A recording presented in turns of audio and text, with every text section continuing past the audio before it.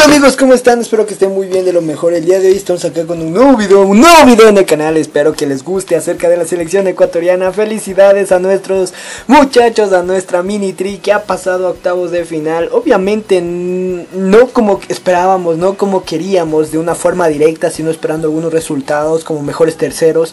Pero bueno, se pasó. Ahora hay que corregir todos esos errores, todos, todos, todos esos errores hay que corregirlos y hay que llevarlos de buena manera, de buen recaudo para poder asimilar nuestra próximo final, que prácticamente es una final para nosotros, nuestro próximo batalla muerte contra la selección de Uruguay. Ya tenemos rivales, Uruguay, que en el sudamericano no le pudimos ganar ninguno de los dos partidos. Nos enfrentamos dos veces con ellos y no pudimos ganarle ninguno de los dos partidos. Ambos perdimos, creo que por la misma mínima diferencia, 1-0. Pero bueno, ahora hay que aprender de todos esos errores. Célico ya conoce Uruguay y debe de hacer valer eso. Ecuador tiene fútbol para darle a cualquier equipo, a cualquier equipo y debe demostrar eso. Nos falta definición. Yo sé que Leo Campana ahora sí va a hacer las cosas bien. Jordan Rezabala, Alvarado, Ramírez, todos, todos, todos, todos, Chiqui Palacios, todos harán las cosas bien y sé que pasaremos esos cuartos de final que todos anhelamos, que todos queremos y la satisfacción más grande para... Eh, Ecuador. Ecuador. Francia nos dio la mano. Eh, Arabia Saudita, aunque perdió, pues nos dio la mano por ese gol que le marcó a Panamá. O sea, se mezclaron los dos de los cuatro resultados que debíamos de esperar.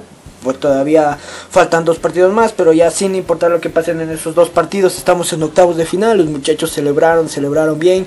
Merecido, merecido al menos por fútbol merecido, porque fuimos más que Japón, fuimos más que Italia, fuimos más que México, lamentablemente no se nos dio, no se nos abre el arco, tenemos muy pocos goles marcados y eso nos duele, ¿no? Pero bueno, hay que meter ganas, hay que meter alegría y atrevimiento y vamos muchachos, vamos Minitri, el lunes a las diez y media hora ecuatoriana es la, el partido de los cuartos de final ante Uruguay, vamos muchachos que sí se puede, todo el Ecuador está con ustedes, una alegría que no tienen idea.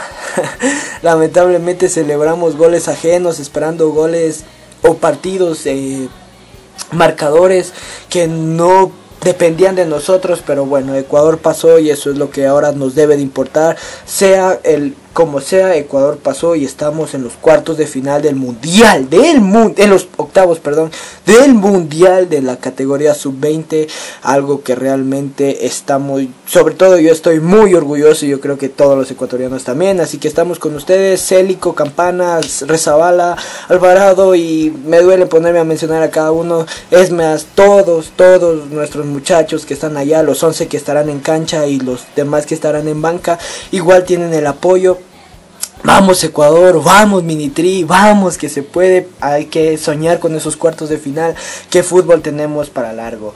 Y nada, eso ha sido todo, un muy muy muy cortito mensaje o algo así para merecer a Ecuador. Así que vamos, gracias por todo. No olviden suscribirse, darle like, compartir con todos. De verdad es un orgullo grande ser ecuatoriano. Activa la campanita. Adiós.